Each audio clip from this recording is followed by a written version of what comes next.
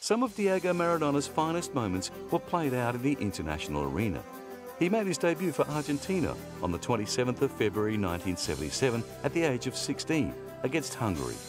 At 18, he starred in the World Youth Championship for Argentina before scoring his first senior international goal against Scotland on the 2nd of June 1979. He played his first World Cup in 1982. Argentina lost their first match against Belgium However, Maradona starred in the next match against Hungary, scoring twice in a convincing win. They also defeated El Salvador to progress to the second round, where they were defeated by Brazil and eventual winners Italy. Maradona captained the squad to victory at the 1986 World Cup. He was the team's driving force and was the most exciting and dominant player of the Cup. He played every minute of every game scoring five goals and making five assists.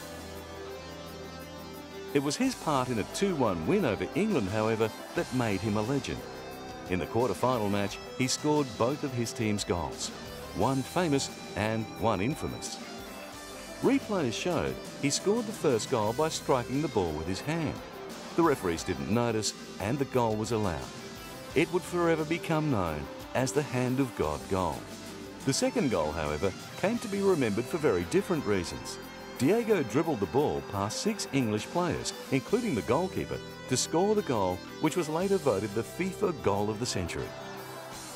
Maradona also took part in the next two World Cup campaigns, during which Argentina failed to dominate.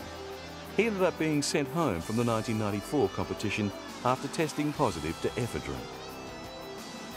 It marked the end of his illustrious international career and put paid to any hopes of another World Cup victory.